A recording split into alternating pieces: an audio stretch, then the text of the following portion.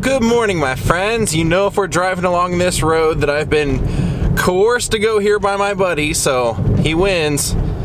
Let's do it. Let's go to the park.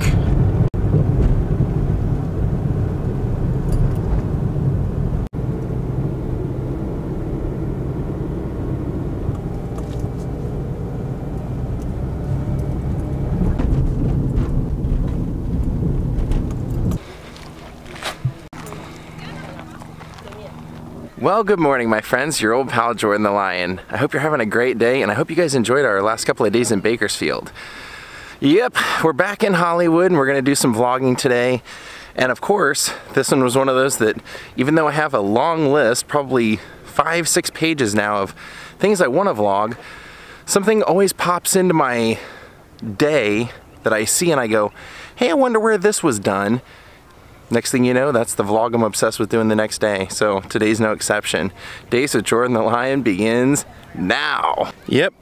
Yesterday I was rearranging things in my apartment, aka a pile of stuff fell over and I had to pick it up. And uh, as I was picking up one of the objects, I was reading it and I go, hey, I wonder where this was recorded. I wonder where this was. And next thing you know, I was like, oh man, we're doing that tomorrow. So today, we're actually gonna see something that started in New York and within two years was moved to Los Angeles. Something headed up by Cecil B. DeMille, and it was on CBS Radio. Today, we're gonna see where they used to record the old Lux Radio Hour. So a little update on my car, since a few people asked, was Breck and I uh, unhooked the battery and everything before we took off for Bakersfield because I saw online they said you're supposed to in order to reset the computer you're supposed to basically like unhook it for like 30 minutes for it to officially completely reset itself. But we were like well this will probably be like six hours so we might as well just do it like this. So we unhooked it took off came back hooked it back up and then yesterday I drove it was driving better and it had more power but the problem was every time I'd come to a stop, the idling would be really low and like be making like this weird gurgling sound. But then when I would give it gas, it would be fine. It would take off right away. So I went home, parked it, and then when I started driving today, seems fine. The idling is perfect has some juice, so I don't know. I tried, you know, since we drive up hills to get here, I figured that would be a pretty good test. It seemed okay, so I guess the uh, the only really good way to really find out is uh, if that check engine light pops back on or if I take it somewhere where I do like a freeway transition and you're going uphill and accelerating, that's when I can usually feel it the most. So I'm hoping this fixed it and uh, because next week I'm supposed to, is it next week? A week and a half, whatever. April 24th, 25th, I'm heading out of town for a few days.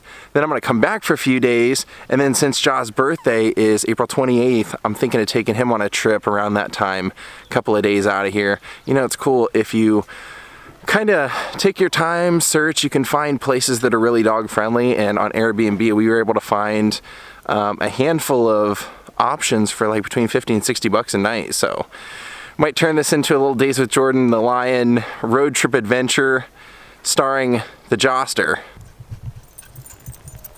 So I have to run a few errands today, but on the way we're gonna actually do the vlog. And like I said, what, what inspired this was I was moving some things around and I, um, I have a few, even though I don't even have a cassette player anymore, I kept a few of my audio cassettes from when I used to work for Jerry's Famous Deli. Their um, delivery trucks had a cassette player so I would you know, make my own mixtapes and then I would buy audio cassettes. And one of them that I have is Clark Gable doing It Happened One Night and also, um, what is it, The Buccaneer? Or no, it's Mutiny on the Bounty and The Buccaneer. I'll have to recheck. I forget, it's one of those two. At one time I had them all, I had both of those, so. Um, but anyway, as I'm looking at it, I read that it says Lux Radio, CBS, and I'm like, wait a minute. I feel like I've walked past a sign recently that said Lux Radio was here. So that's what inspired our vlog today.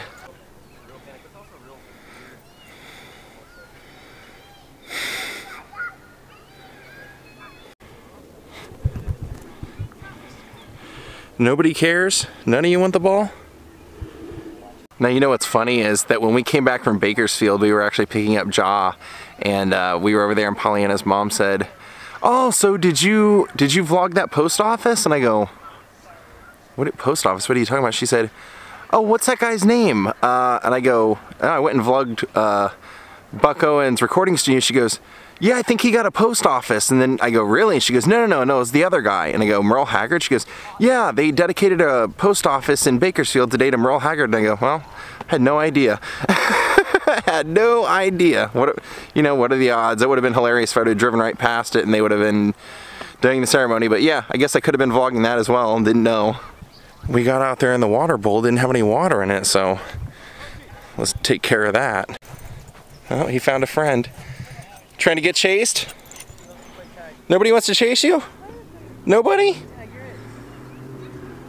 Well, I'll get your water. You, you work on that.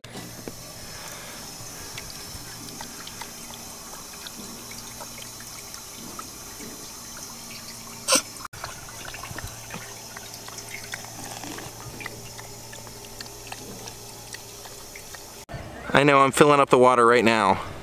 It's only so fast I can go. It's surprisingly calm out here today. Last couple of weeks we've come out here, and no matter what day we come, it's packed. Look at that lightning bolt racing towards me.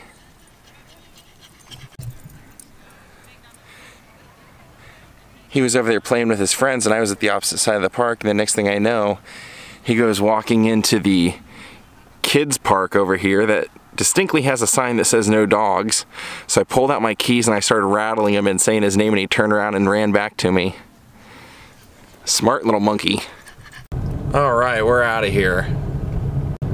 Well, dang it, the check engine light just popped on, so it looks like there is something else that I have to swap out on this or something. Well, here it is, guys. This was the inspiration for our vlog today.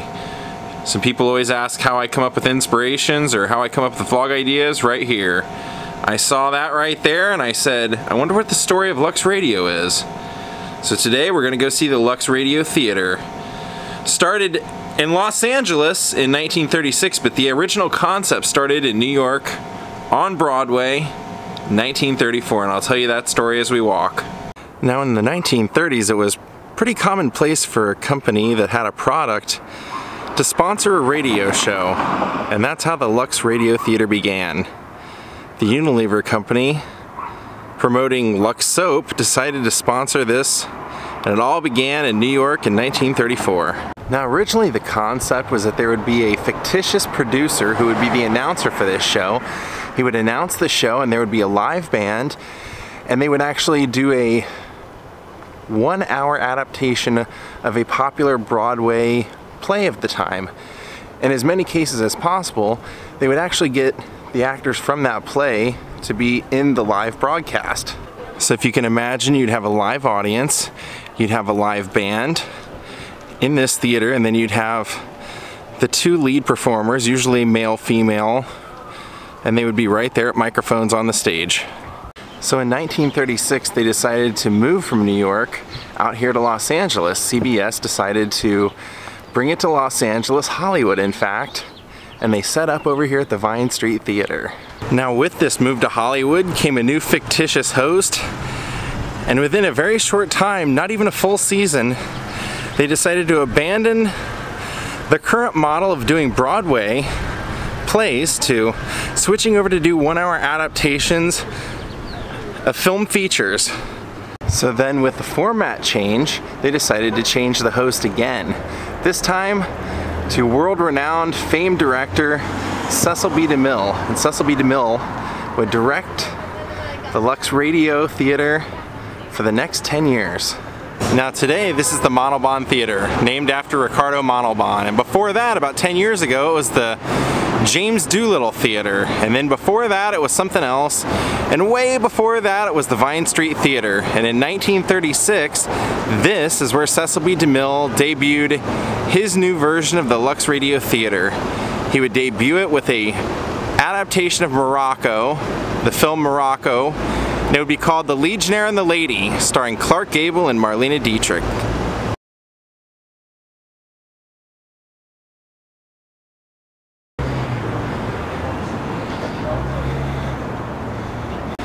Now Lux Radio would reportedly pay all the actors that would be in these adaptations $5,000 per appearance So if you can imagine, it was $10,000 invested to promote their product just in the actors alone. Now they would go on to do Casablanca, The Maltese Falcon, It Happened One Night. I mean, they did just about every big movie that day, and just about every actor from Joan Blondell to Leslie Howard to Clark Gable to Lucille Ball would be in these productions. Now, like I said, Cecil B. DeMille would actually go on to produce these radio broadcasts for the next 10 years, and then a new host would take over, and then in the actual, actually in the early 50s, it would become a television show, and it would last until 1956. So from 1936 till 1956, the run of the Lux Radio Theater was one of the mainstays in entertainment for America.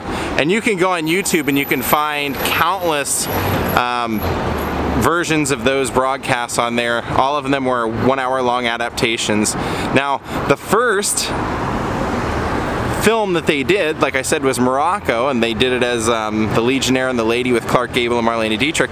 But the second broadcast they had was an adaptation of The Thin Man, starring William Powell and Myrna Loy.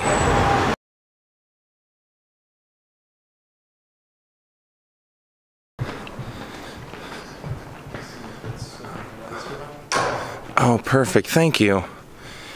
Wow, that's so awesome.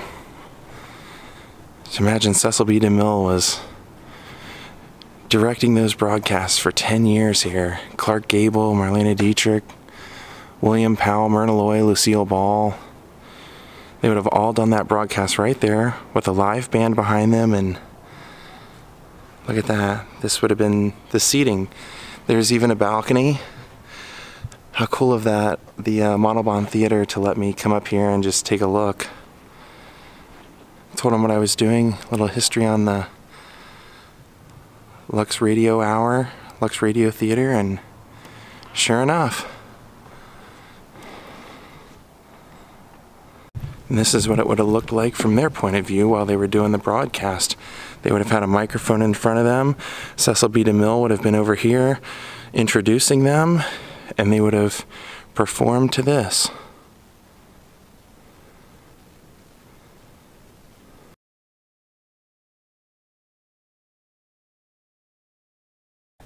Look at all the numbering down here at the end of the stage. It's what they call Old Broadway font. Wow, that was totally cool of them to let me uh, come in and show you guys a little bit more of the history. I'll show you the lobby on our way out. I've actually worked catering events here. There's a couple of uh, like VIP lounges up here and then around. Very cool. There's some memorabilia from Ricardo Montalban. Some of you know him as Vincent Ludwig from Naked Gun. Some of you know him from Fantasy Island. Some of you know him from the great movies of the 30s and 40s. We're out of here. Well, it doesn't get too much more real than that, does it? We just actually got to see where they would have done those radio broadcasts. And right here is where the stars would have been dropped off. This is the, uh, the VIP entrance where you would have had a red carpet going right up the entryway to the theater. And it was located right here, right below Hollywood on Vine. Right directly across from, at the time, what would have been the Brown Derby.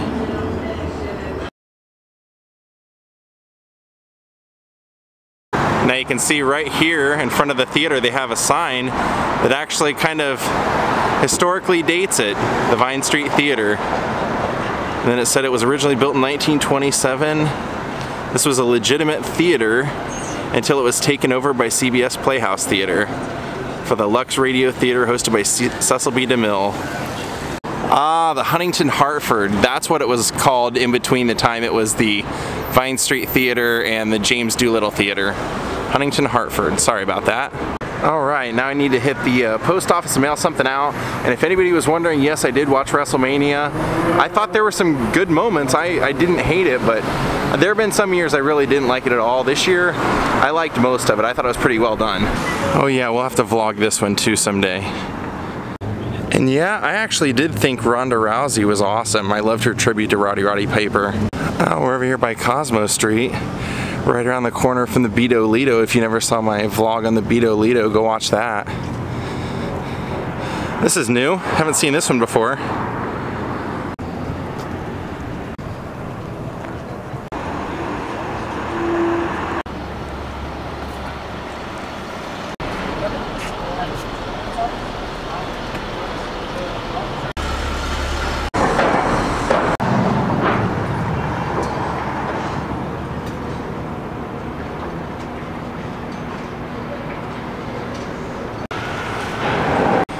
Right, that's all taken care of, and I got a total for my international people for the uh, Daze with Jordan Lion green sunglasses. And big thank you to everyone that pre-ordered them because you wanted to support. That's awesome. I think I only have like 20 pair left that are not pre-sold. Now, if you remember my friend Stefan, who was in the uh, the Dee Dee Ramone vlog, he was also part of the story of the um, the Viper Room vlog, and I told you that he actually was there that night and then found out the next day when he went to work that that was River Phoenix who was passed out on the sidewalk.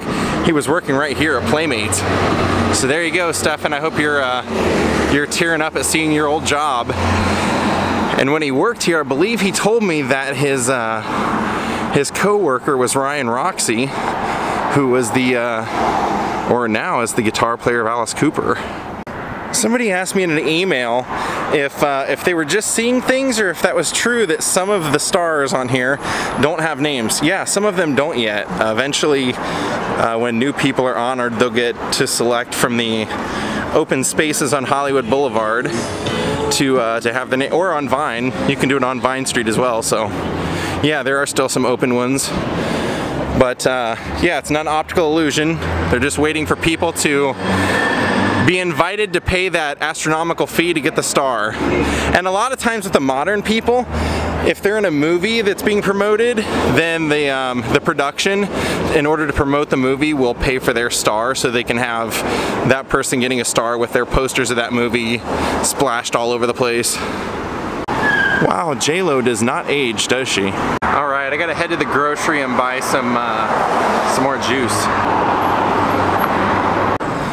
Well, I was coming over here to get the um, the Russian ice cream, but they're closed today. This is where Adam the Woo and I get Russian ice cream. No dice today. All right, let's hit Ralph's.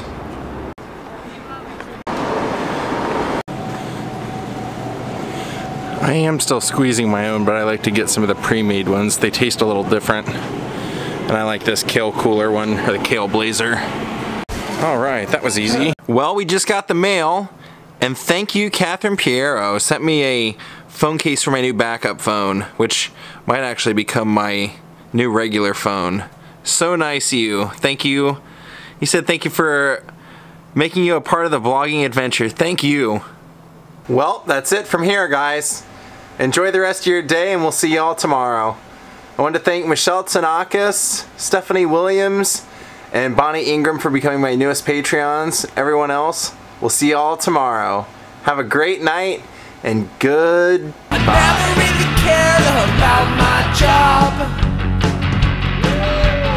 I was always working for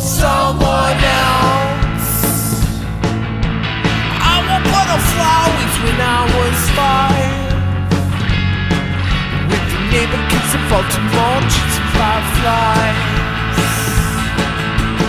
When I was a guy, I was like a book.